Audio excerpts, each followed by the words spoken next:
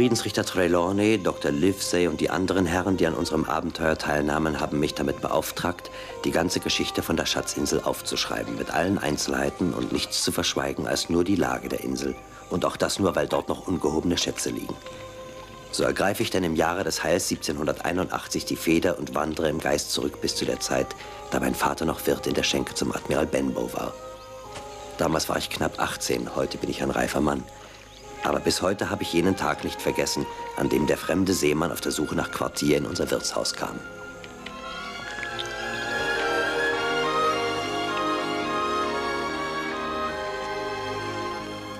Soll ich die Kiste reinbringen? Halt's Maul, wenn du nicht gefragt wirst.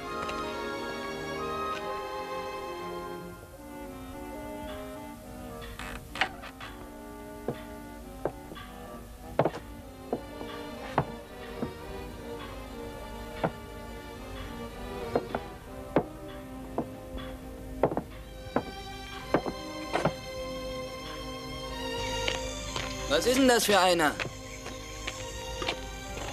Was weiß ich, ein Fremder. Und woher kommt er? Aus Bristol, glaube ich. Er ist gestern vom Royal George aus der Postkutsche gestiegen und hat sich nach Gasthäusern an der Küste erkundigt.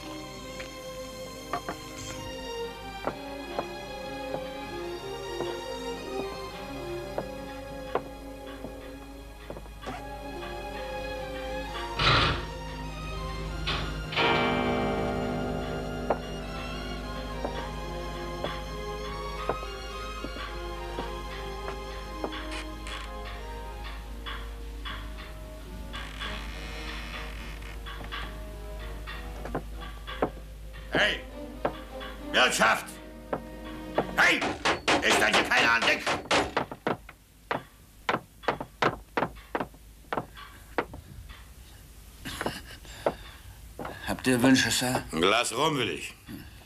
Aber einen weißen.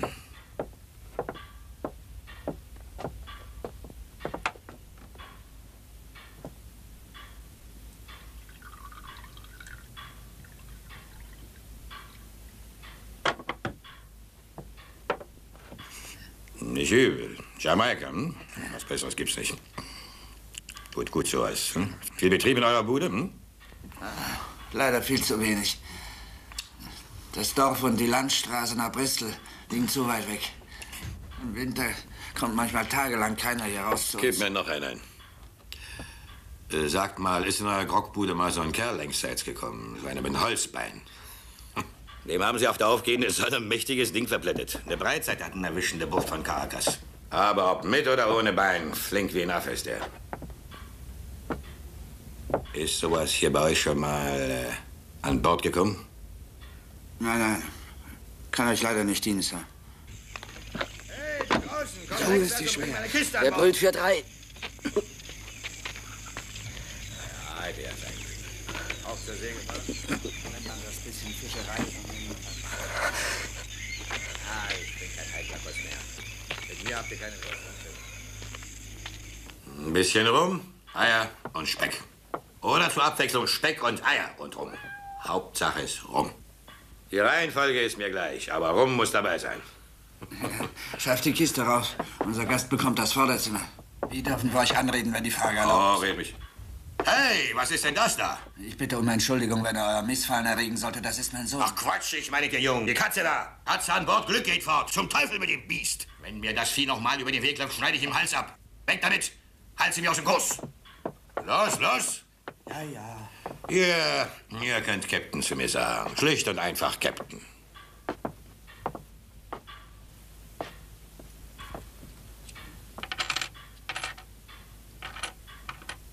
Also, wenn ich das aufgefressen habe, dann sagst du mir Bescheid. Klar? Alles in allem schienen wir uns da einen merkwürdigen Vogel eingehandelt zu haben, aber sein Kost- und Logiegeld würden wir brauchen können. Es stand nicht eben gut um meines Vaters Einkünfte.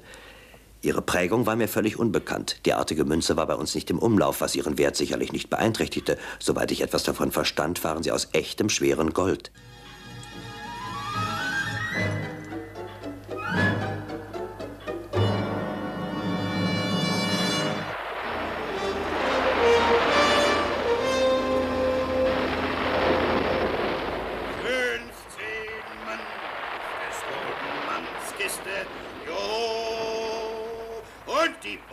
Voll rum. 15 Stinkt besoffen. an der krummen, dürren Küste. Jo, und die Was grölt denn der da? Was weiß ich. Irgendein Schente. hörten den Teufel in den Klippen singen. Und legten den Tau von den Messern. Na, was sagst du dazu? Der Kerl treibt uns noch die Gäste aus dem Haus. Den Eindruck habe ich nicht. Jetzt hör mal gut zu, Mark Hawkins. Seine drei Goldstücke, die hat er längst aufgefressen. Aber jedes Mal, wenn ich von ihm Geld verlange, dann glotzt er mich nur dumm an. Der glotzt mich vor mich aus der Stube. Und wie der rumläuft. Zerlumpt und abgerissen wie ein Landstreicher. Ich habe selbst gesehen, wie er oben in seiner Stube mit eigener Hand Flicken auf seinen Rock genäht hat. Nur einmal hat er vom Hausierer was gekauft. Ein paar Strümpfe. Das war aber auch alles. Jim! Jim! Lauf mal rauf! Klopf an seine Tür! Er soll sofort aufhören!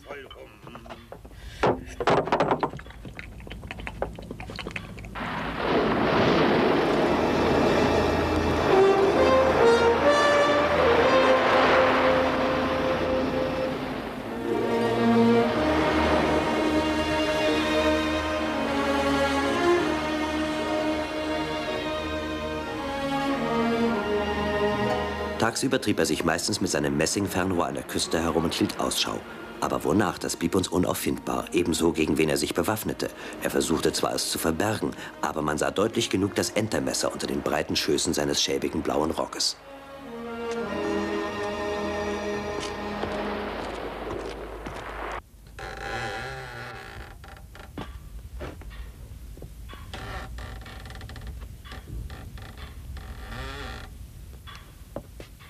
Na, Sir.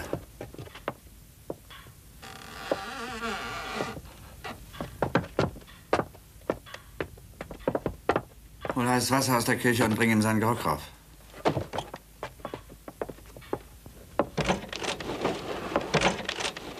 Da, hört euch das an. Er schiebt wieder seine Seekiste vor die Tür. Warum denn das? Was weiß ich, vielleicht damit ihn keiner holt. Und die Fensterläden macht er auch immer zu, auch am Tag. Ach, das ist doch nur wieder eine von deinen Geschichten, Mark Hawkins. Nee, nee, und abergläubisch ist er. Wie die alte Dora Murston. Katze an Bord, Glück geht fort. Er schreibt keine Menschen. Er bekommt nie Briefe. Aber zehnmal am Tag fragt er mich, ob sich nicht jemand nach ihm erkundigt hat. Außer wenn er einen Sitzen hat, spricht er kein Wort. Es gibt nur eins, was ihn interessiert. Die Kiste. Wenn er die an die Leine legen könnte. Ich glaube, er würde spazieren führen wie ein Hund. Wer ist da? Ich, Captain. Ich bringe euren Grog. Ach, du bist es, Jim. Wart mal, ich komm gleich.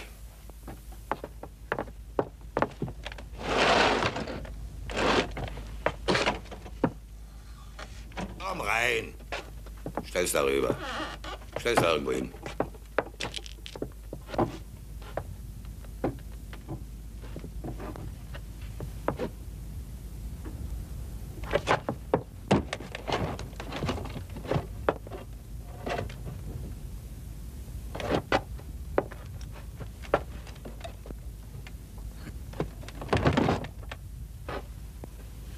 Na, was hältst du von sowas? Schönes Stück Geld, was? Das ist ein Vier-Penny-Stück. Gehört dir. Danke, Sir. Vielen Dank. Gute Nacht. Hör mal zu, Jim. Was würdest du sagen, wenn ich dir jeden Monat so etwas geben würde? An jedem ersten ein Vier-Penny-Stück. Es würde mir gut gefallen. Abgemacht. Du brauchst dafür nur die Augen aufzumachen und dein Maul zuzuhalten. Verstanden? Ja, schon, aber ich... Wenn du ihn siehst, weißt du gleich, dass er es ist. Kannst ihn gar nicht verfehlen. So schäbig sieht der Kerl aus. Dem fehlt ein Bein. Buckbot hat ein Holzbein. Wenn der hier in der Gegend aufkreuzt, Augen aufmachen, Junge. Aufpassen wie Luchs. Und sofort zu mir kommen. Und mir Bescheid sagen. Verstanden?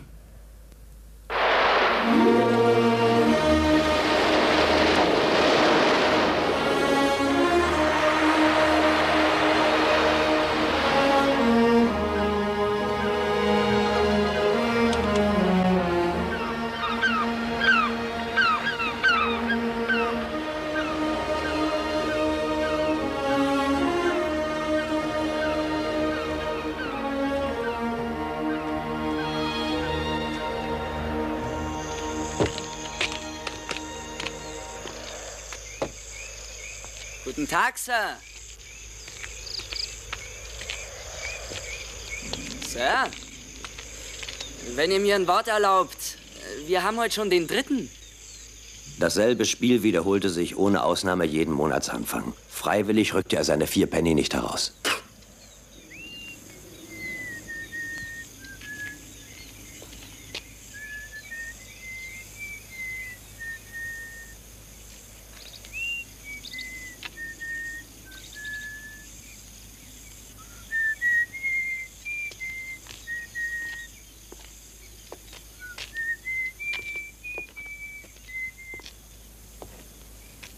Hier hast du äh, deine vier Penny.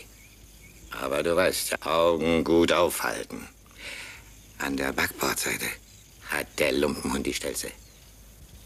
Dann sagst du mir sofort Bescheid. So verrückt wie sich unser Gast anstellte, zweifelte ich manchmal daran, dass es diesen Einbeinigen überhaupt gab. Manchmal hielt ich ihn ganz einfach für das Gebilde seiner verschrobenen Fantasie. Aber dann wieder dieses Vier-Penny-Stück.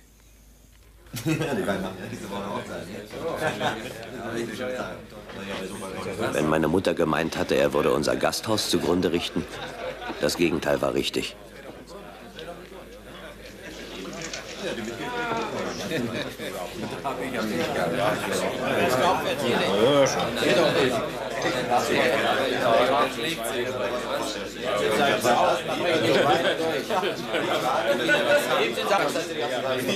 Ruhe an Deck! Haltet eure Schnauzen! Wer seid ihr schon, ihr blöden Kerle? Ihr höllisches, verrottetes Pack! Scheißkerle! Sitzt hier rum und quatscht, wetzt eure Ärsche auf den Bänken einer Kneipe! Während andere draußen der Welt ihr Haut riskieren! Ihr bleichsüchtigen Schwanzwedler!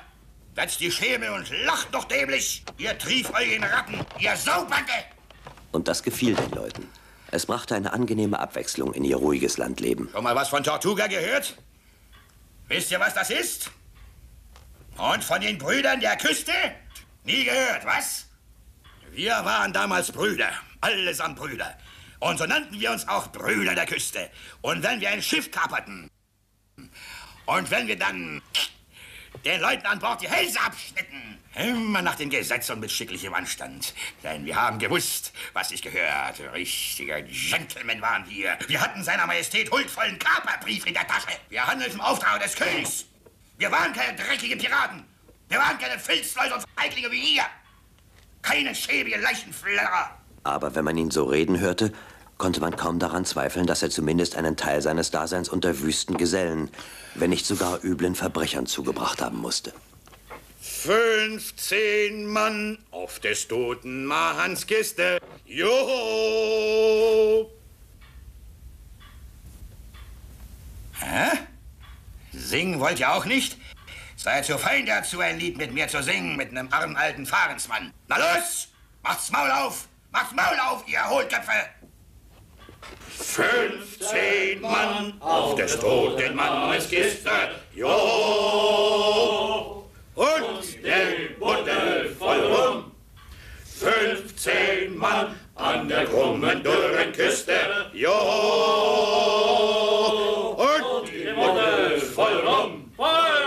Und sie hörten den Teufel in Klippen singen. Es war die Zeit, da bei meinem armen Vater jenes Nachlassen der Kräfte einsetzte, das dann sehr bald zu seinem Tode führen sollte. Dr. Livesey hatte an diesem Abend nach ihm gesehen. Er wollte jetzt gehen. Er war der Einzige, der das Lied noch nicht kannte. Aber es machte offenbar keinen angenehmen Eindruck auf ihn. Ein Schiff, sie nach Hause zu bringen. Jo! Guten Tag, Dr. Lift. Wenn es euch passt, Dann geriet er mit dem Gärtner Taylor in eine Unterhaltung über ein Heilmittel gegen das Reißen, unter dem Taylor litt. Dann lasst ihn ziehen 24 Stunden. Macht ihn wieder heiß und reibt die schmerzenden Stellen sorgfältig damit. Nochmal heiß machen und damit ein. Ruhe an Deck, ihr beiden da drüben! Schluss mit eurem albernen Quacksalbergeschwätz! Sprecht ihr mit mir, Sir, oder irre ich mich? Na, mit wem denn sonst? Ja, mit euch! Dann hört mal gut zu. Wenn ihr es weiter so treibt mit dem Rum, wird's bald einen Lumpenhund weniger auf der Welt geben. Und ein Schaden wär's kaum, möchte ich meinen. Ich werde euch damit an die Wand nageln. Aufspießen werde ich euch, aufspießen wie eine Wanze! Wenn ihr das Messer nicht auf der Stelle wieder wegsteckt, dann werdet ihr beim nächsten Gerichtstag baumeln. Darauf habt ihr mein Wort.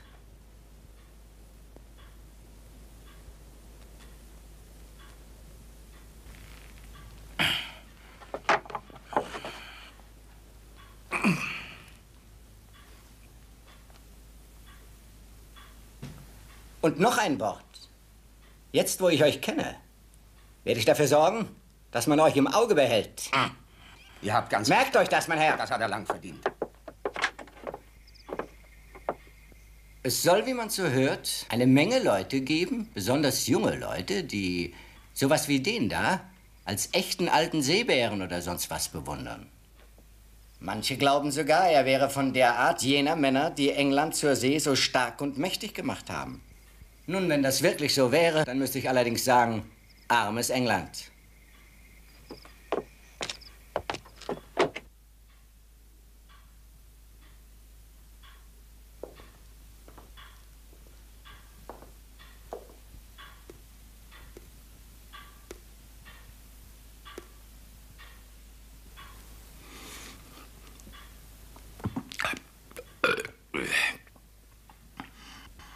Ja, da.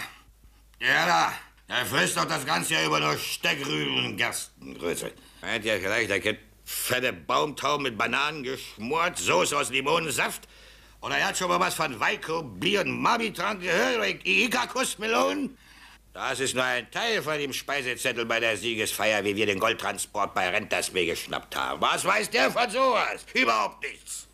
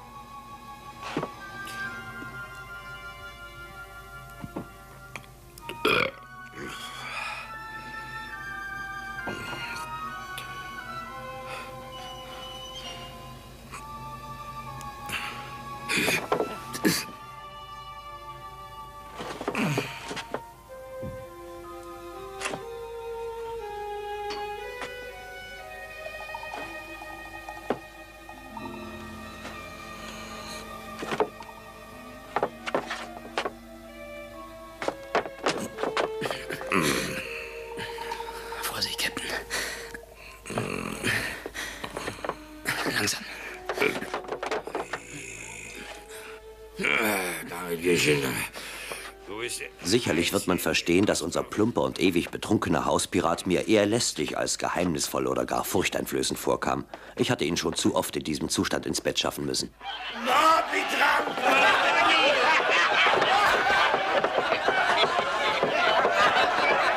Affen und Kolibris um uns herum und wohin du siehst, überall saftige Früchte. Fallen dir von ganz allein ins Maul immer eine mal. Es ist, es ist wie im Paradies.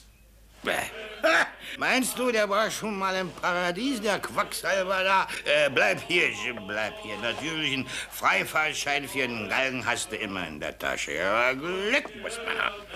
Ich, ja, ich hab Glück gehabt. Schau mal her, mich hat's nur da erwischt. Aber die anderen, du, die anderen. Beine sind sie losgeworden, Augen, Nasen, Ohren, Finger, verstümmelt und vergrümmelt fürs ganze Leben.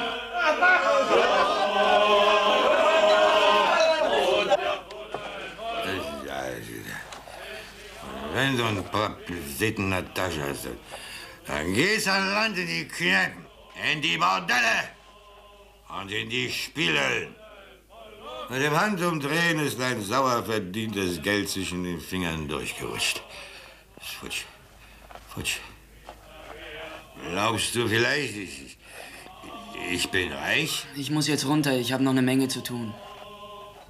Wenn man sein ganzes Leben lang in der Hängematte geschlafen hat, kommt dir so ein richtiges Bett mit einem Strohsack wie im Paradies vor. Deck mich gut zu.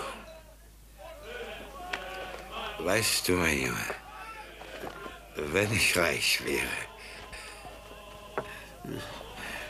wenn ich irgendwas zu vererben hätte, wärst der Einzige, dem ich es vererben würde. Keiner sonst würde das Zeug kriegen, glaub mir. Aber ich habe ja nichts. Nichts vor mir als ein Alter in Armut und Elend. Ein jämmerliches und einsames Dasein. Nicht lange danach kam es zu dem ersten der rätselhaften Ereignisse, die dann nicht mehr aufhören sollten. Der Kapitän war an diesem Morgen früher auf den Beinen als sonst und hatte seinen üblichen Erkundungsmarsch an der Küste entlang bereits angetreten. Mutter war oben bei meinem kranken Vater und ich deckte gerade den Frühstückstisch für die Rückkehr des Kapitäns.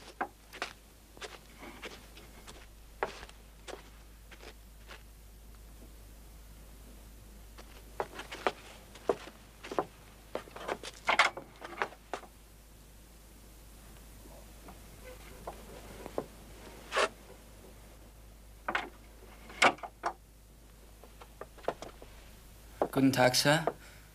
Was steht zu Als er hereinkam, fiel mir unwillkürlich der Einbeinige ein, vor dem ich den Kapitän warnen sollte. Aber dem da fehlte an der rechten Hand ein Finger. Doch ich konnte mir nicht helfen, er kam mir sonderbar vor. Man hätte ihn nicht ohne weiteres für einen Seemann gehalten, und doch war so etwas wie Salzwasserwitterung um ihn. Na, dann gib mir mal einen rum. Bisschen frisch draußen heute Morgen. Gewiss, Sir. Einen Rum? Komm mal her, mein Junge. Komm her. Hübsch gedeckt, der Tisch da. Das ist doch bestimmt das Frühstück für meinen alten Freund Bill. Genauso wie er es mag. Nur ein paar Blümchen fehlen noch. Was Gedeck ist für einen Herrn, der bei uns wohnt. Ein Kapitän. Na klar doch, der brave Kapitän Bill. Macht sich auch nicht übel, so ein Titel. Ein feiner, höflicher Mann, immer freundlich zu allen. Wenn er nicht gerade stinkbesoffen ist. Habe ich recht? Ich weiß nur, dass der Herr sich mit Kapitän anreden lässt. Ja klar doch, ich sag ja gar nichts dagegen. Kapitän Bill, das klingt nach was. Warum nicht Admiral Bill?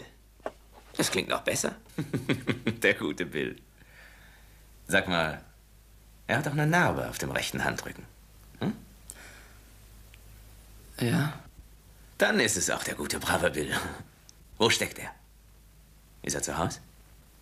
Nein, ähm, er ist am Strand. Oh, kann man ihm nicht verdenken. Eine frische Brise Luft in der Lunge macht Appetit. Ein paar Eier, Speck und Rum. der brave Will. Was wird der sich freuen, wenn er mich sieht? Wie über eine Pulle rum. Bleib hier, mein Junge. Hier bleiben, habe ich gesagt. Ich sag nicht gern zweimal das Gleiche, merkt ihr das? Rinus. Der Kater äh, draußen. Die Katze wollte ich reinlassen.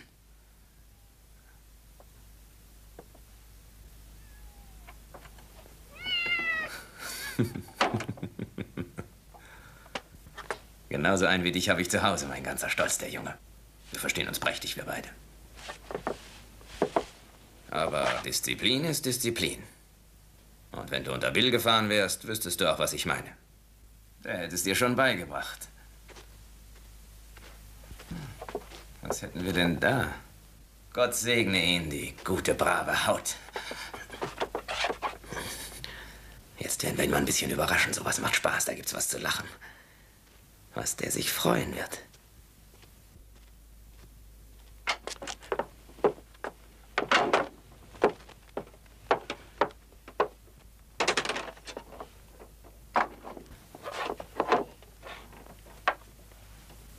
Hey, Bill. Na, Bill, wirst doch einen alten Schiffskameraden wiedererkennen. Was machst du hier? Was soll ich machen? Der schwarze Hund besucht seinen alten Schiffskameraden Bill. Im Wirtshaus zum Admiral Benbow. Ha, Bill. Bis ich meine Kralle da verloren habe, was haben wir da nicht alles zusammen erlebt? Jetzt können wir mal in aller Ruhe ein Wort miteinander reden. Der nette Junge, der mir so gefällt, wird uns ein Glas rumbringen und wir sprechen mal von vergangenen Zeiten. Wie zwei alte Kameraden. Vielleicht gibt's ja irgendwo eine stille Ecke.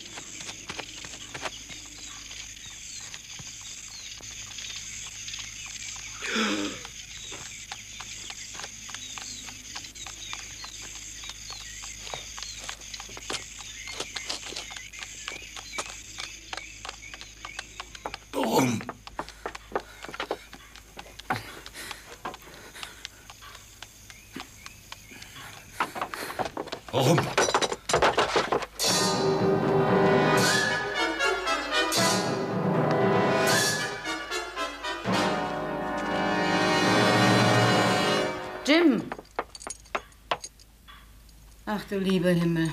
Schrecklich, dieser Kerl. Und oben liegt ein armer Vater und kann sich nicht rühren. Muss ich mit anhören, wie es in seinem Haus drunter und drüber geht. Da halt mal. Hm. Der braucht einen Schnaps. Das ist wahrscheinlich alles, was ihm fehlt. Hier. In der Aufregung überhörten wir, dass Dr. Livesey angeritten kam, der nach meinem Vater sehen wollte.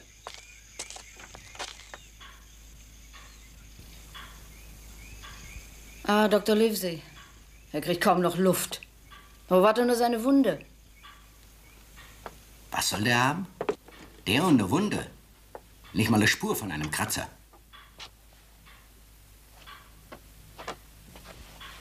Einen Schlaganfall hat der Kerl, wie ich es ihm vorausgesagt habe. Jim, hol mir eine Schüssel mit Wasser. Und ihr, Mrs. Hawkins, geht jetzt rauf zu eurem Mann und erzählt ihm irgendeine Geschichte, nur keine aufregende. Sowas kann ja eine Frau gut. Irgendeine harmlose Erklärung für das, was sich hier zugetragen hat. Und ich, ich werde, ich werde inzwischen versuchen, diesem üblen Kerl da sein überflüssiges Leben zu retten.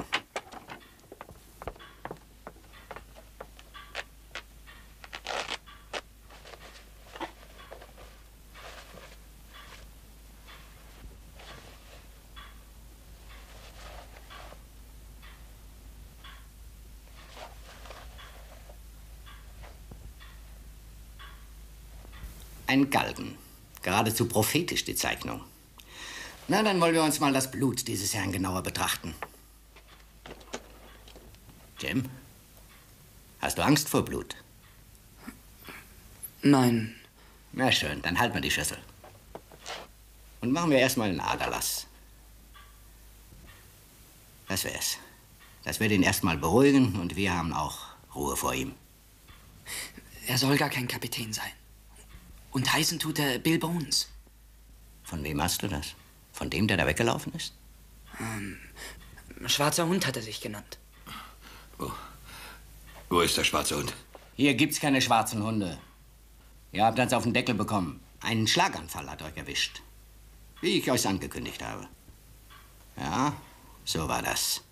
Ihr wart schon mit einem Fuß in der Grube. Und ich habe euch noch gerade so bei den Haaren erwischt und wieder rausgezogen. Und glaubt mir, sehr gegen meinen Willen, Mr. Bones. Aber ich bin nun mal Arzt und muss mich auch mit alten Halunken abgeben. Und als Arzt muss ich euch jetzt noch sagen, ein Glas Rum wird euch nicht umbringen, aber mit einem habt ihr ja nicht genug. Ich verwette meine Perücke. Wenn ihr mit einem anfangt, gebt ihr nicht eher Ruhe, bis ihr die ganze Flasche leer habt. So. Jetzt rappelt euch hoch. Wir helfen euch rauf in euer Bett.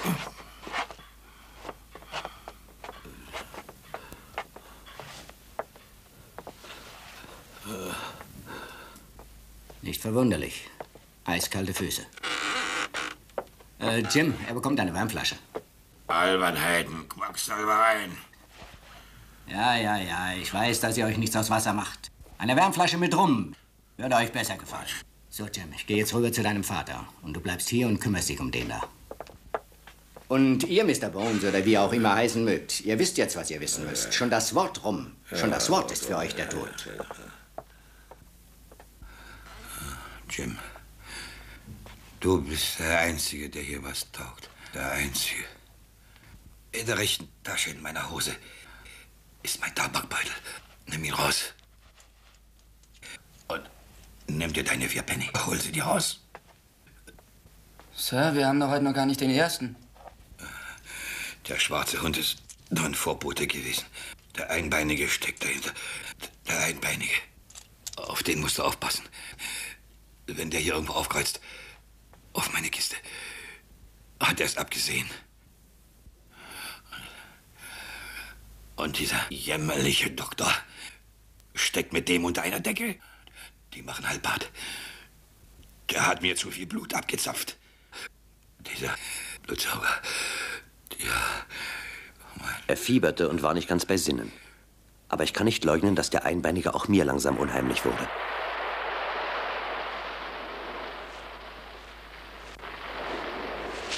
Es war am nächsten Tag um die Mittagszeit. Ich trieb mich am Ufer herum und suchte Schlickwürmer als Köder für meine Angel.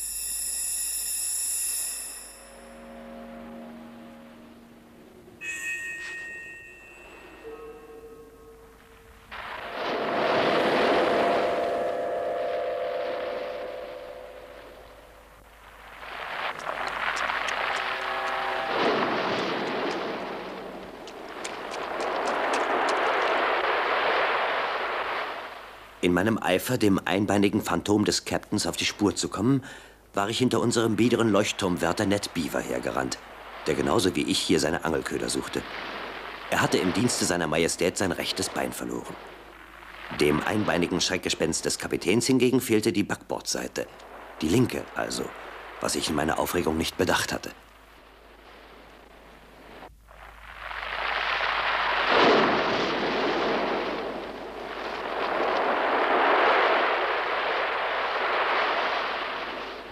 Soll ich euch nicht ein bisschen Suppe geben? Jim, die sind da. Die Schweine sind da. Die ganze Mannschaft vom alten Flint. Ich, ich kann mich nicht rühren, das wissen die. Auf meine Kiste haben die es abgesehen. Ich war Steuermann bei Flint. Jim, die kommen und bringen mir den schwarzen Fleck. Hilf mir, mein Junge, hilf mir. Hilf mir. Hilf mir. Reite wie ein Blitz zu diesem Jammerlappen von Doktor. Sag ihm, er soll die Küstenwache alarmieren. Da kann er die ganze Bande schnappen mit einem Schlag. Mit einem Schlag. Ich weiß, wo die Stelle ist. Du kriegst die Hälfte. Deswegen sind sie hinter mir her. Wegen Flint. Wegen seinem Zaster. Hast du alles kapiert, Jim? Wir teilen. Ist genug da für uns beide. Da auf der Kiste. Ist da wieder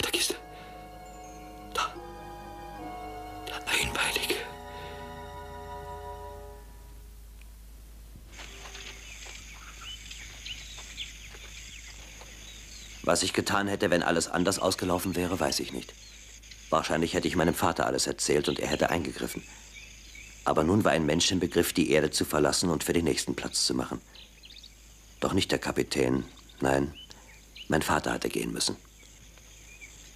Der Kummer, die Besuche der Nachbarn, die Vorbereitungen für das Begräbnis, dazu die Arbeit im Gasthaus, das natürlich weitergeführt werden musste, alles das beschäftigte mich so sehr, dass ich kaum Zeit hatte, an den Kapitän zu denken, geschweige denn an seine wirren Redereien.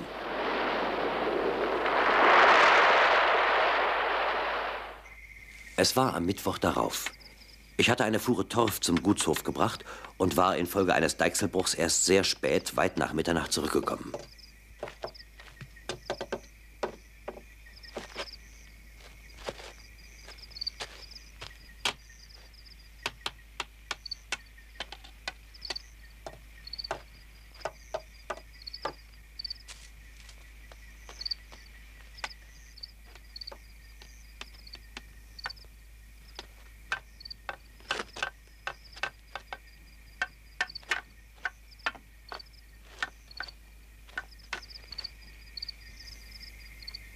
Hier eine mitleidige Seele, die einem armen Menschen helfen kann, der sein Augenlicht verloren hat?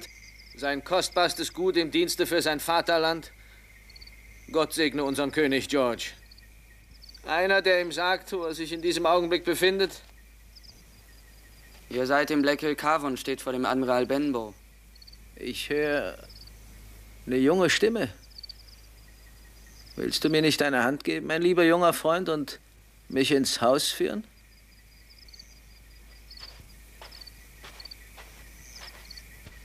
Jetzt, mein Bursche, bringst du mich zum Kapitän. Nein, das tue ich nicht, Sir. Ich denke gar nicht dran. Ach so, du willst nicht. Na, vielleicht überlegst du dir es nochmal. Ich traue mich nicht. Der gibt mir eins über den Schädel. Los, jetzt geht's zum Captain. Und keine Geschichten. Lasst mich doch zufrieden. Meinetwegen. Na los, kommt.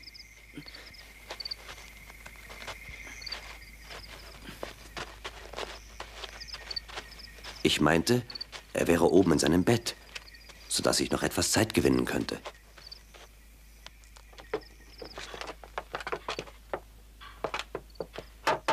Bleib nur sitzen, Bill, bleib nur. Ich kann zwar nicht sehen, aber desto besser höre ich. Ich höre schon, wenn einer nur mit dem Finger wackelt. Pass auf, Bill. Kommen wir gleich zum Geschäft. Streck deine rechte Hand aus. Komm, mein Junge, nimm seine rechte Hand und bring sie an meine linke.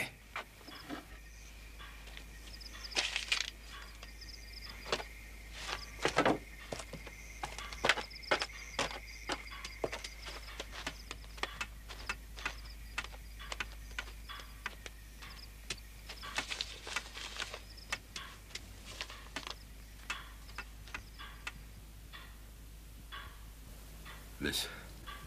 Naja, bis dahin haben wir noch Zeit. Noch ein paar Stunden, noch, noch ein paar Stunden. Na schön. Das schaffen wir, das schaffen wir. Die legen wir rein. Lass mich.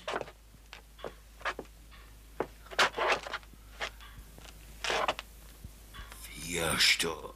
Ah!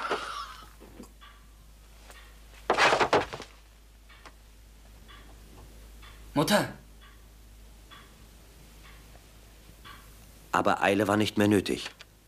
Ein jäher Schlaganfall hatte ihn getroffen und auf der Stelle getötet.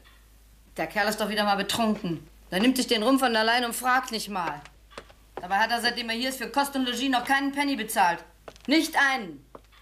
Naja, außer den drei Goldstücken gleich am Anfang. Die hat er längst aufgefressen. Aber auch Dr. Livesey schafft ihn mir nicht vom Hals. Der verspricht's nur. Mutter, er ist tot. Ach, red doch nicht. Sinnlos betrunken ist der. Ja, ja, nicht das erste Mal.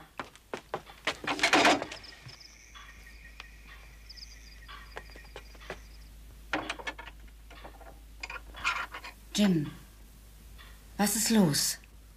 Mutter, da war einer. Ein Blinder.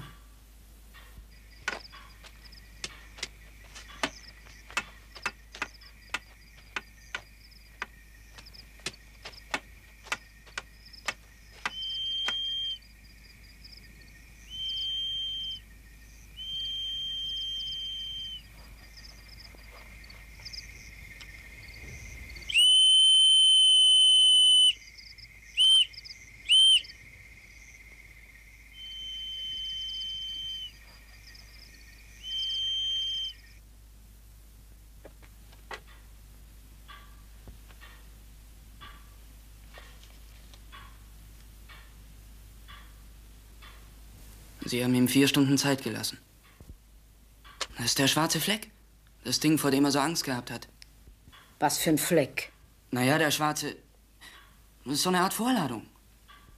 Also weißt du, Jim, wenn man dich so reden hört. Ich erzähl's nur so, wie ich's von ihm gehört habe. Ich bin ja auch nicht drauf schlau geworden. Auf seine Seekiste sollen sie es abgesehen haben. Die ganze Bande vom alten Flint. Das ist nicht von mir, das hat er gesagt. Auf den alten Kasten oben? Ja, Wer ist Flint? ich weiß nicht. Er, er war Steuermann bei ihm. Hm, dann kann mit diesem Flint nicht viel los gewesen sein. Komm, wir sehen uns die Kiste mal an.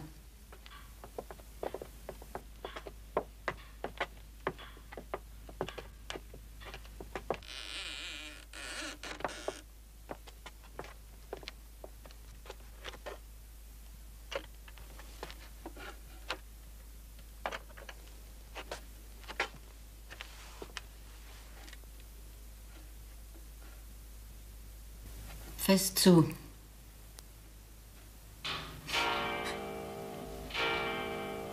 Zwei Uhr. Wie lange hat er Zeit gehabt? Vier Stunden.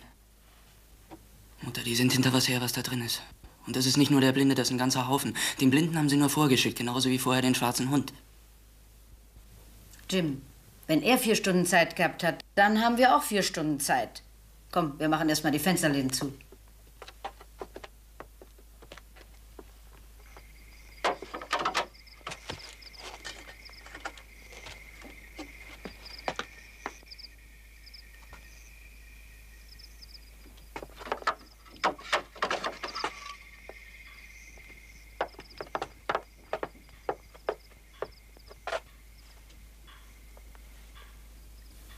Jetzt müssen wir dem da den Schlüssel für die Kiste abnehmen.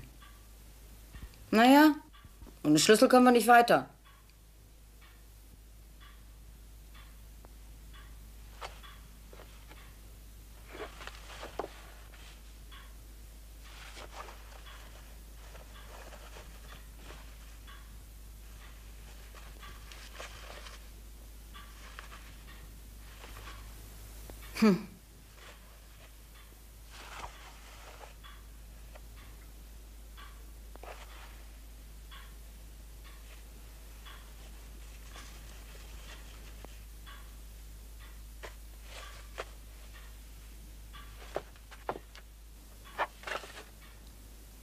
Seinen Tabaksbeutel, ein paar kleine Geldstücke, einen Fingerhut, etwas Zwirn und einige große Nadeln, ein Stück Kautabak, sein Messer mit der krummen Klinge, ein Taschenkompass und eine Zunderbüchse.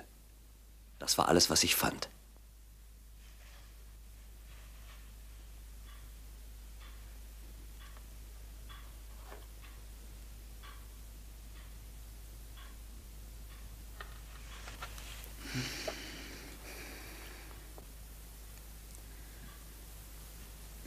Um den Hals vielleicht?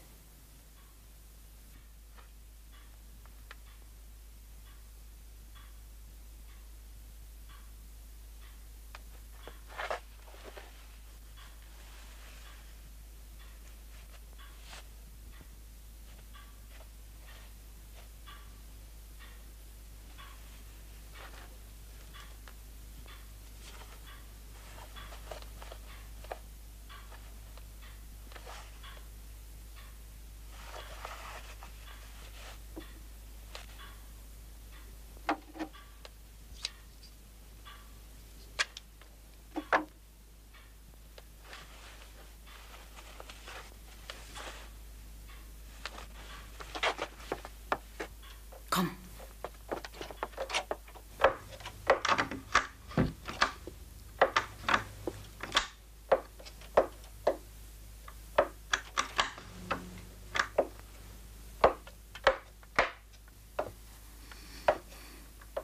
Das war der Blinde. Gib mir den Schlüssel.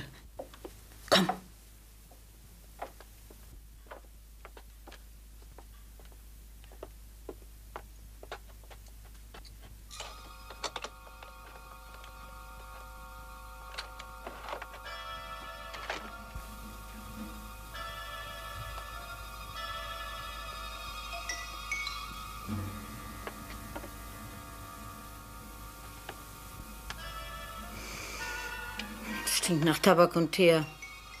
Wahrscheinlich nie gelüftet worden. Noch nie getragen, aber rumgelaufen ist immer wie eine Vogelscheuche. Oh. Das ist schwer. Silber, bestimmt.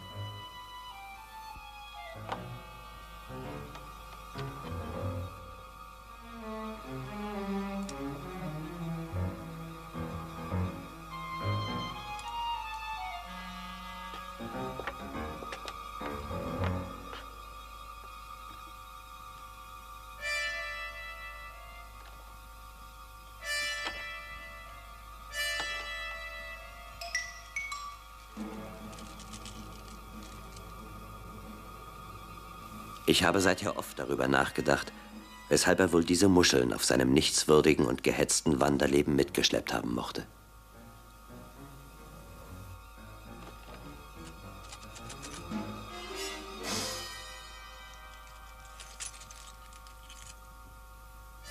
Jim, wir werden dieser Bande zeigen, dass es noch ehrliche Leute gibt. Ich nehme, was er uns schuldig ist und nicht einen Penny mehr.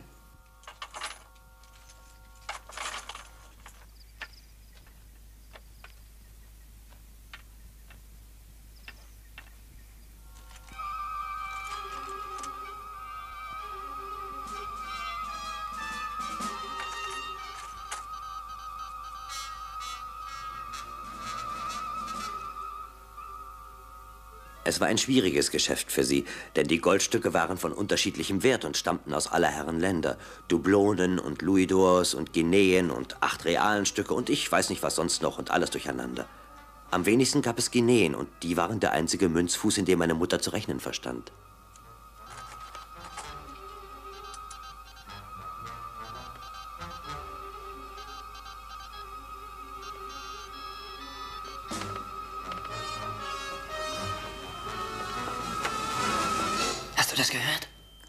Ach, was du nicht alles hörst. Das war unten im Kamin. Die ausgebrannte Kohle rutscht im Rost nach. Nein, das war draußen. Da hat jemand gepfiffen. Bring mich doch nicht immer raus. Mutter, nimm einfach das ganze Zeug und lass uns gehen. Nicht einen Penny mehr, als uns zukommt, Jim Hawkins. Dann sei einfach zufrieden mit dem, was du schon abgezählt hast. Nein, auch nicht einen Penny weniger. Und wenn du jetzt nicht endlich den Mund hältst, dann wären wir nie damit fertig. Mutter, die verriegelte Tür hat dem blinden Kerl misstrauisch gemacht. Der ist jetzt losgegangen und holt die anderen. Dann haben wir die ganze Bande auf dem Hals. Wir müssen machen, dass wir hier wegkommen. So. Jetzt warte ich, bis du endlich still bist. Ich verstehe nur eins nicht. Wie kann jemand nur so ehrlich sein und zugleich so aufs Geld versessen wie du? Du verstehst manches nicht, Jim Hawkins. Wenn ich jetzt anfangen würde, dir das alles zu erklären, dann wären wir morgen früh noch nicht fertig damit. Da hör doch. Dabei habe ich noch lange nicht genug sie. abgezählt.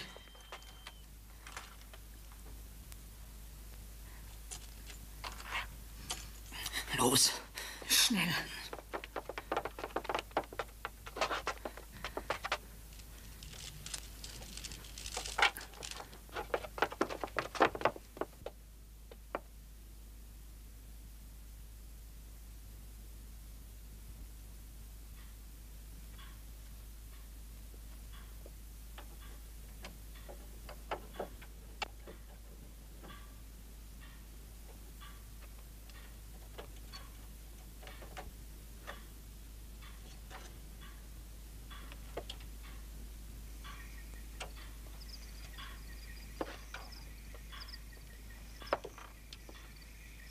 Siehst du was?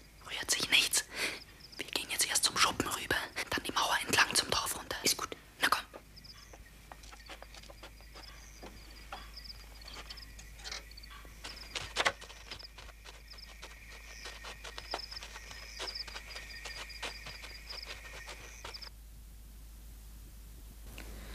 Vielleicht ist es Tom Purcell. Der hat gestern Abend Aalschnüre ausgelegt. Vielleicht will er sie reinholen, bevor es hell wird. Hey, Pew!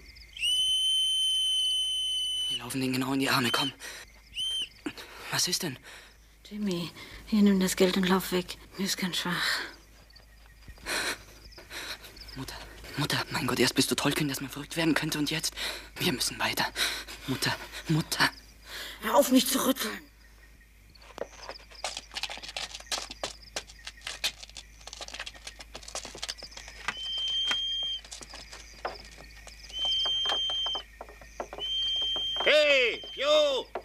Dummes Schwein lässt sich Zeit. So, jetzt hätten wir es gleich. Noch so an die 400 Schritte, dann geht der Weg nach Backbord. Und genau da im Knick liegt die schäbige Schnapsbude, die er sich als Versteck ausgesucht hat. Unser neunmal schlauer Bill. Und was fangen wir mit dem Jungen an und mit dem Weibsbild? Ach, hol dich der Teufel. Eine dämliche Fragerei hängt mir zum Hals raus. Los, macht, dass er weiterkommt. Und rammt euch noch mal fest in eurer dicken, vernagelten Schädel die paar Goldstücke, die ihr in seiner Kiste findet. Die könnt ihr ihm ruhig lassen. Immer nobel zu einem alten Bordkameraden, wenn es nicht drauf ankommt. Was wir ihm aber nicht lassen können, das ist die Karte vom Flint. Das ist das Ding, das er in Wachstuch eingewickelt hat. Gar nicht zu übersehen. Alles andere steht in freiem Belieben. Nur auf das Wachstuchpaket kommt's an. Und jetzt weiter. Ihr könnt schon eure Fiedeln stimmen, damit ihr dann gleich anfangen könnt, ihm eins aufzuspielen. Diese Halunken. Unverschämte Bande. So was wagt es unseren Admiral Benbow, Schnapsbude zu nennen. Wart mal hier. Jimmy. Jim.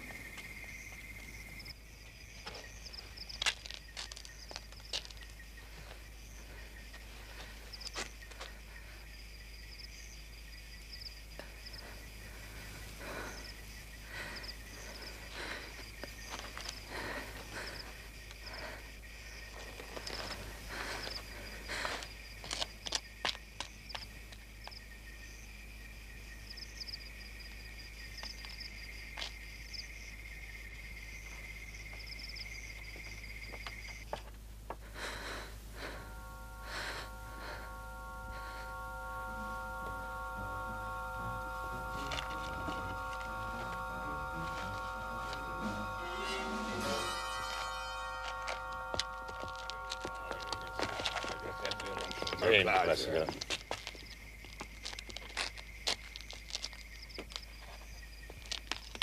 Los, schlag die Tür ein.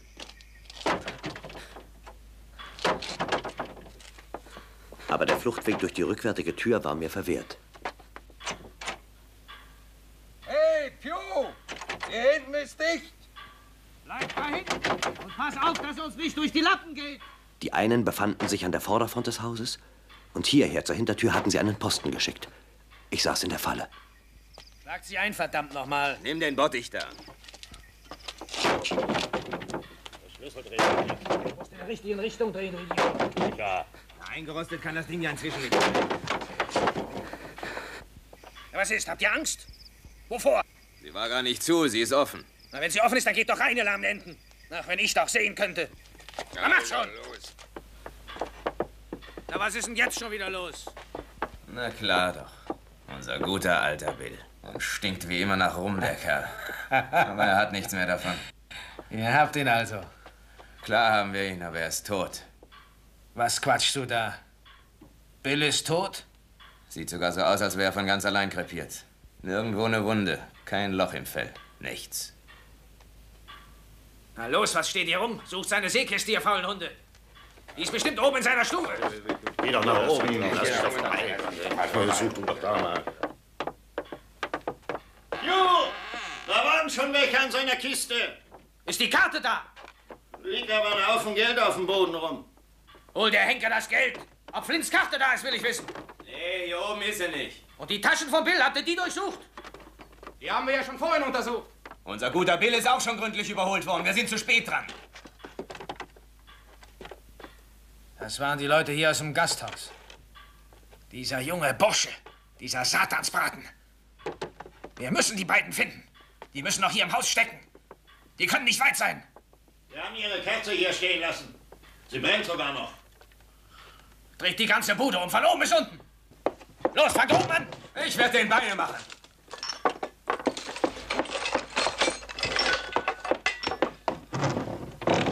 Ich höre was. Da. Da. Ganz in meiner Nähe. Seid mal still da oben. Was gibt's denn? Irgend so ein, irgend so ein Vieh drückt sich hier rum. Eine Katze. Ich sag euch, der alte Flint, der hat recht gehabt. Katze an Bord. Glück geht fort.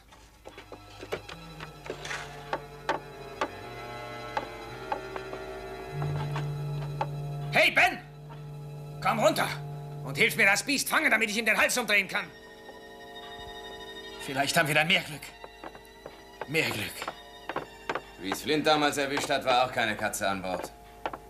Und was ist mit Bill? Da unten in der Schankstube liegt er. Jawohl. In der Kneipe mit Katze hat's ihn erwischt. Das ist Dirk. Das ist Dirk. Er hat dreimal gepfiffen. Das Signal. Wir müssen abhauen. Bleib stehen! Du kennst doch Dirk. Er hat immer die Hosen voll. Wenn dem ein Karnickel über den Weg läuft, glaubt er, es wäre eine gefechtsklare Fregatte mit 30 Zehnpfündern bestückt. Jetzt wird erst das Haus gründlich durchgekämmt. Die Frau und der Junge können nicht weit weg sein. Glaubt mir. Schafft die beiden her und wir haben Flints Karte. Was haben wir von Flints Karte, wenn uns die Küstenwache beim Wickel kriegt? Dann baumeln wir. Piu, wir haben doch die Dublonen. Tausende könnt ihr haben, wenn ihr die Karte findet. Reich wie die Könige könnt ihr werden. Aber suchen müsst ihr suchen. Verplempert nicht eure Zeit. Ach, mit deiner Brüllerei kommen wir auch nicht Und weiter. du, Ben? Du bist genauso ein feiger Hund wie die anderen. Vor Bill bist du weggerannt wie eine Ratte. Niemand hat gewagt, ihn den schwarzen Fleck zu bringen. Weder du noch sonst jemand. An wem ist es hängen geblieben? An mir, mir, einem Krüppel. Ich musste zu ihm gehen. Ach, mach doch, was du willst. Kommt, Jungs, abhauen!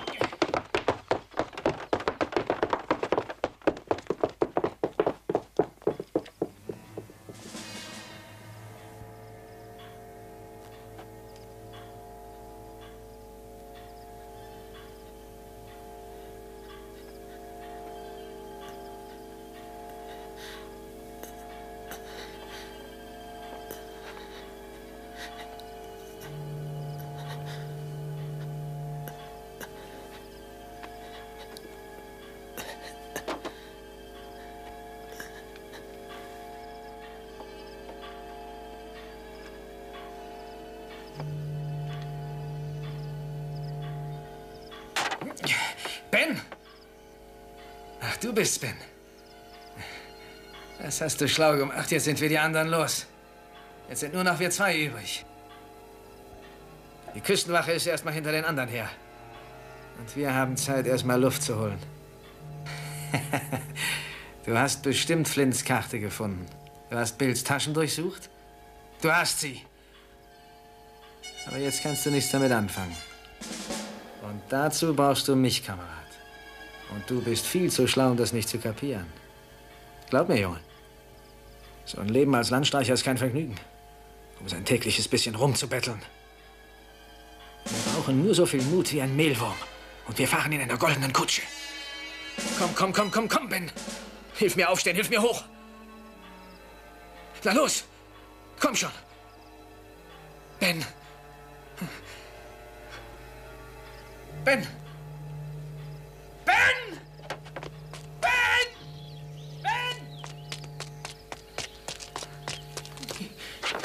Ben!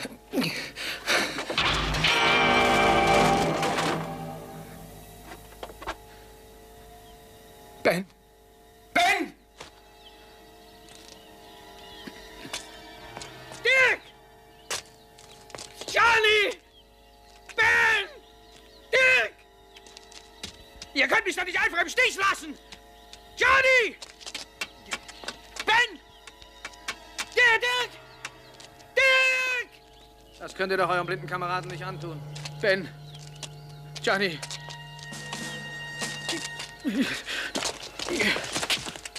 Ben! Johnny! Johnny!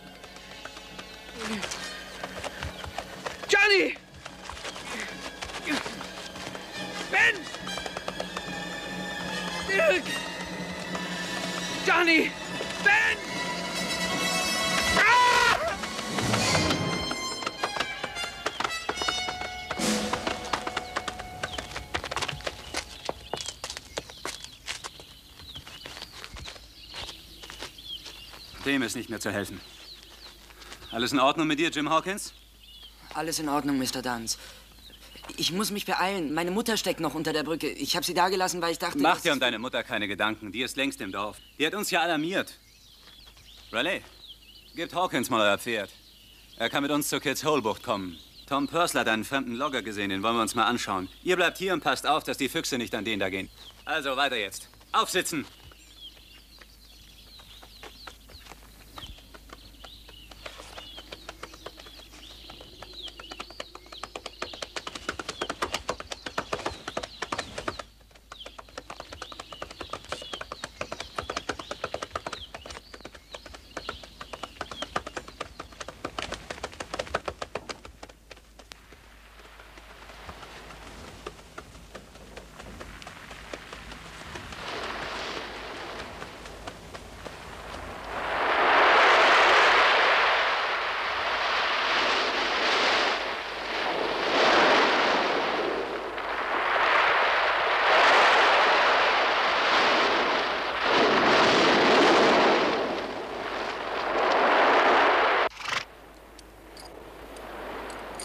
Runter? Da hinten durch die Schlucht, Mr. Dance.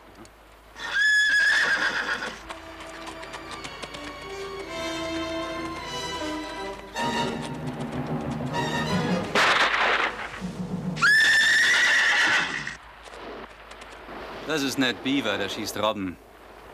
Wir hätten noch bei Goldwater runter können, aber das wäre ein großer Umweg gewesen. Na schön. Große Eile zeigte keiner von ihnen. Denn die Besoldung seiner Majestät Zollreiter war gering und wirkte nicht sonderlich anspornend auf ihren Eifer und ihre Entschlossenheit, die Entflohenen einzufangen, sodass diese im Ungewissen verschwanden, aus dem sie gekommen waren.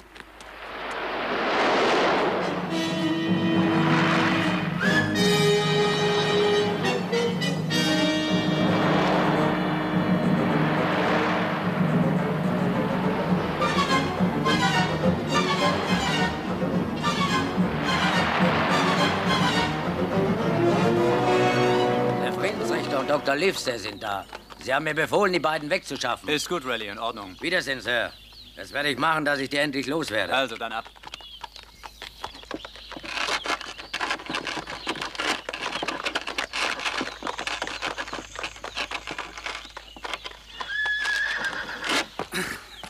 Ich komme mir vor wie ein Fisch auf dem Trocknen. Die einen sind uns durch die Lappen gegangen, die anderen sind stumm.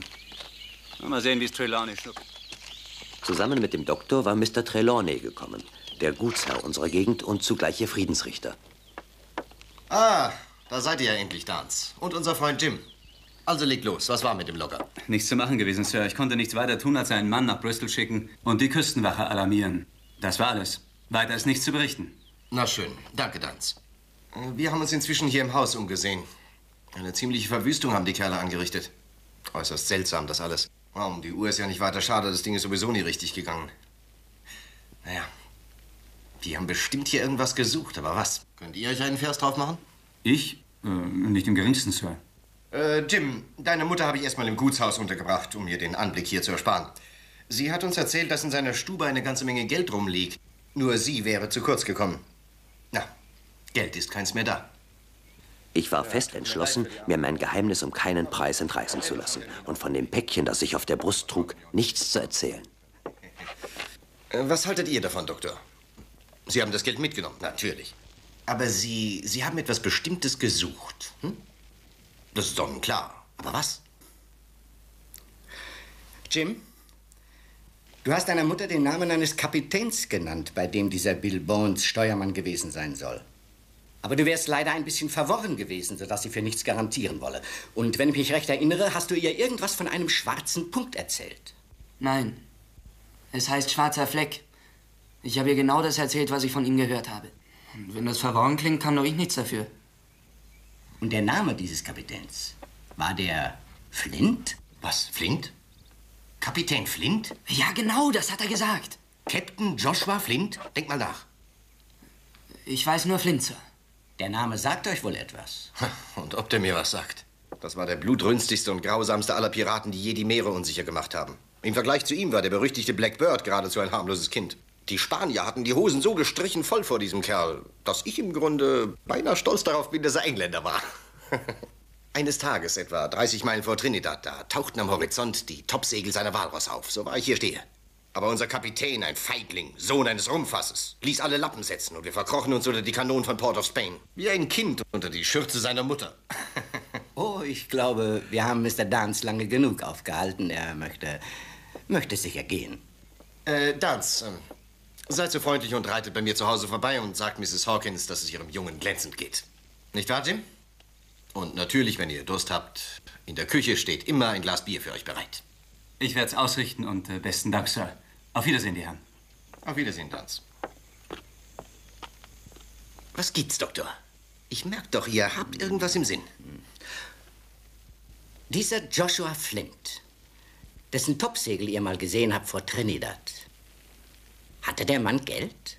Ob der Geld hatte? Aber klar doch. Oder meint ihr, dass diese Halunken ihren Hals für einen Fliegendreck riskieren? Warum diese Frage? Nehmen wir mal an, es existiert irgendein Hinweis, der uns die Möglichkeit gibt, herauszukriegen, wo dieser Flint sein Gold versteckt hat. Ja, glaubt ihr denn, dass es sich lohnen würde, diesen Schatz zu suchen? Das will ich meinen. Wenn ich wüsste, wo ich das Zeug zu suchen hätte, ging ich nach Bristol und ließ auf der Stelle ein Schiff ausrüsten. Selbst wenn ich alles, was ich besitze, verkaufen müsste. Meine Äcker, alles. Gut, gut, mein Freund. Und ich darf wohl annehmen, dass ihr demjenigen, der euch einen brauchbaren Hinweis liefert, einen angemessenen Anteil zukommen lassen würdet. Das versteht sich doch, Livesey. Worauf wollt ihr hinaus? Jim Hawkins, komm doch mal her. Ich möchte doch annehmen, du bist dir über zwei Dinge im Klaren.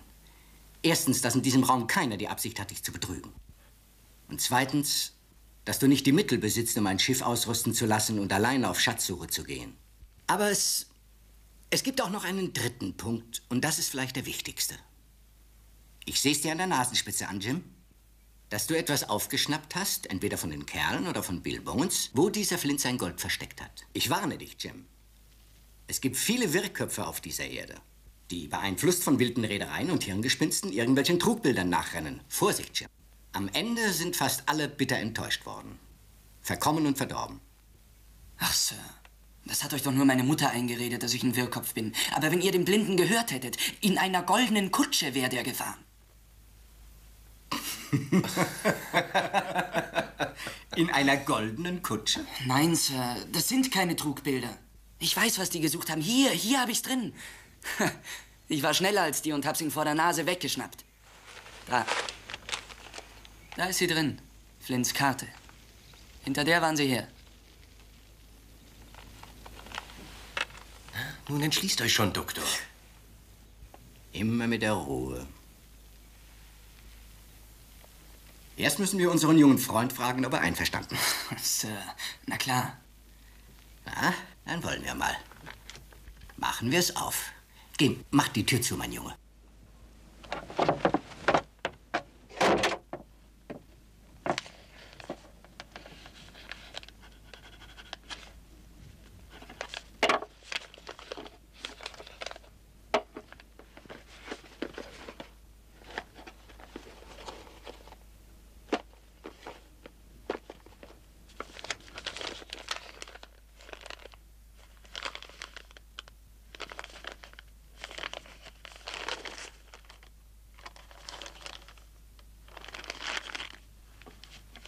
Äh, komm her, Jim.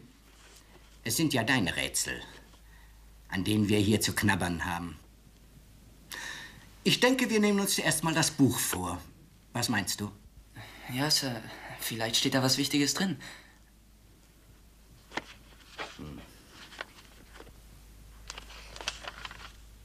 Gar nicht so übel, seine Schrift. Auf der Höhe von Palm Key hat er es gekriegt. Wahrscheinlich ein Messer zwischen die Rippen. Möglich. 24. März, November 44, Caracas. Ah, Trinidad, da haben wir es.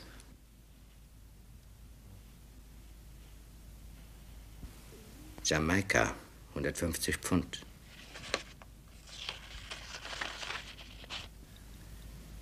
Das geht über 20 Jahre. Das ist das Kontobuch von diesem Burschen. Schaut, die Kreuze vor den Städte- und Schiffsnamen bedeuten, dass die Städte geplündert worden sind und die Schiffe versenkt wurden. Seht mal da, bei Caracas, da haben sie ein Schiff geentert. Nein, eins, zwei, drei Kreuze. Da haben sie drei Schiffe geentert. Gott sei den armen Seelen gnädig. Ein großer Tag für die Haifische in der Bay von Caracas. Mhm. Und je höher er im Range steigt, desto höher werden die Summen. Ihr habt recht.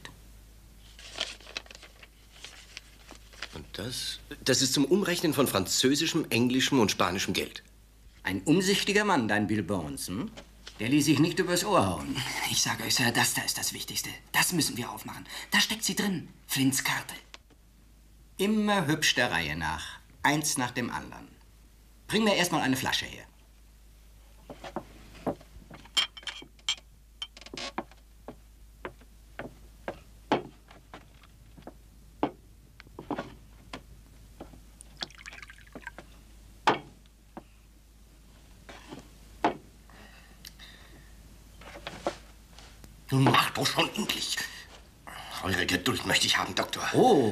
Nix, mein Freund. Ihr könntet sie gut brauchen. Donnerwetter! Nun, hm. mach doch schon.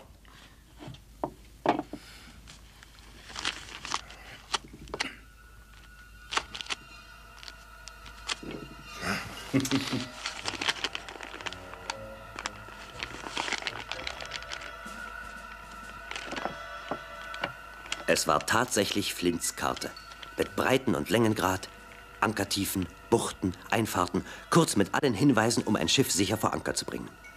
Vor allem aber sahen wir zwei mit roter Tinte eingezeichnete Kreuze, eins im Norden und eins im Südwesten.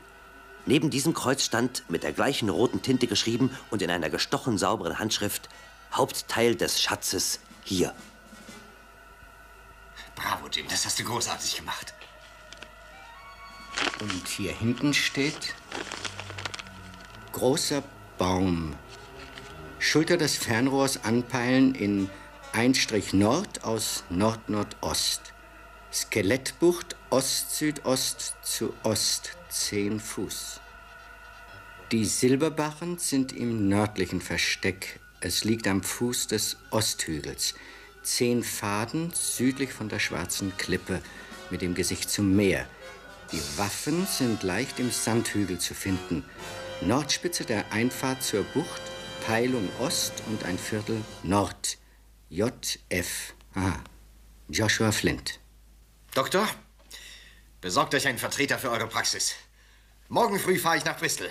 Und in drei Wochen, ach was, in zwei Wochen, in acht Tagen, haben wir das beste Schiff und die beste Mannschaft von ganz England. Hawkins, du bist angeheuert als Kajütsjunge. Und ihr, Livesey, ihr kommt mit als Schiffsarzt. Und ich, äh, ich bin Admiral, selbstverständlich. Günstiger Wind, bestes Wetter, Flints Karte in der Tasche. Was brauchen wir mehr? Wir brauchen uns nur zu bücken, um reich zu werden. Und wenn wir wieder hier sind, machen wir Butterbrot werfen mit Goldstücken bis ans Ende unseres Lebens.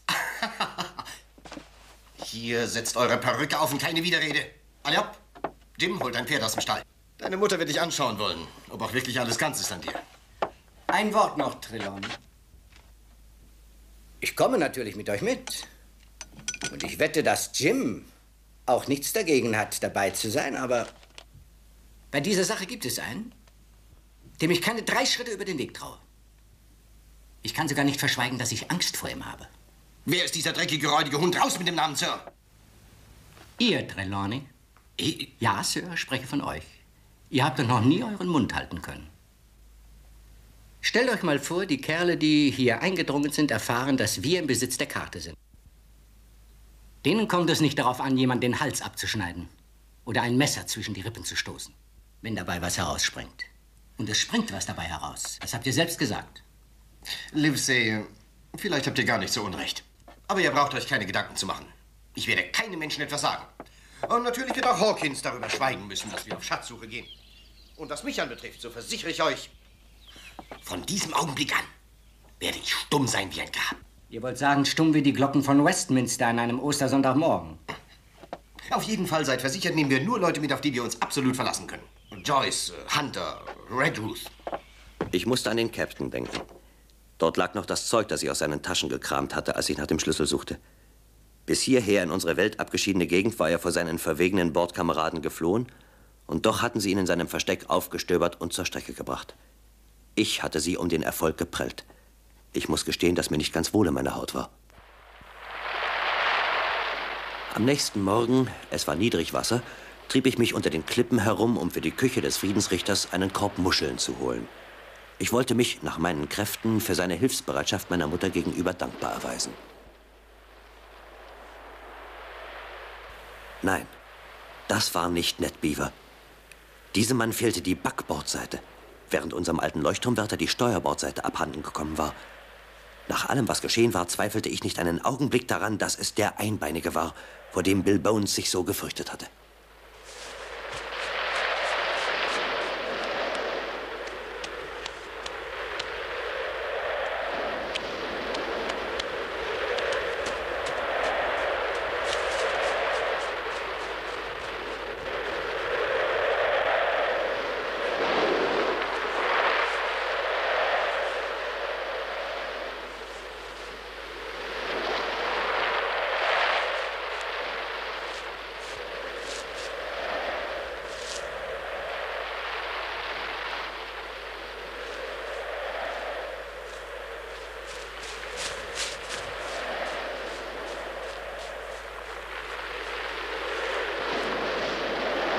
Eine Spur, die sich landeinwärts zog. Das war alles, was ich von ihm vorfand.